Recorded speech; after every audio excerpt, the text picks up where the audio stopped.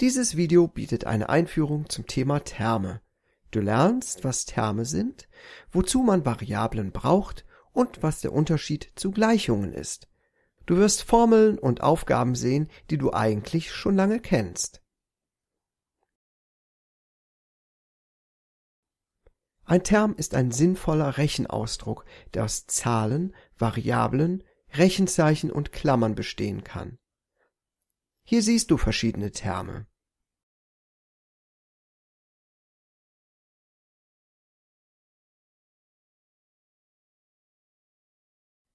Dieser Term besteht aus Zahlen, Variablen und einem Rechenzeichen. Die Variable wird auch Platzhalter genannt, da sie den Platz für eine Zahl frei hält.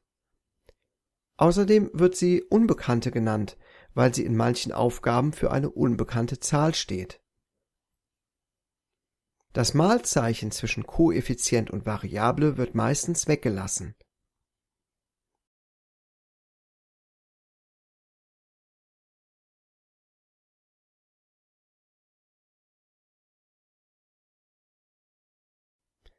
Wenn zwei Terme durch ein Gleichzeichen gleichgesetzt werden, dann spricht man von einer Gleichung.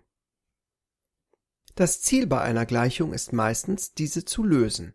Das heißt, man berechnet, wie groß der Wert für die Variable, in diesem Fall das x ist.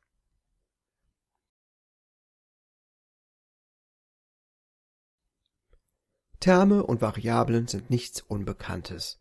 Hier siehst du Terme, die man zum Berechnen von Umfängen und Flächeninhalten verwendet, die du schon länger kennst. Die Variablen stehen für die Seitenlängen der Flächen.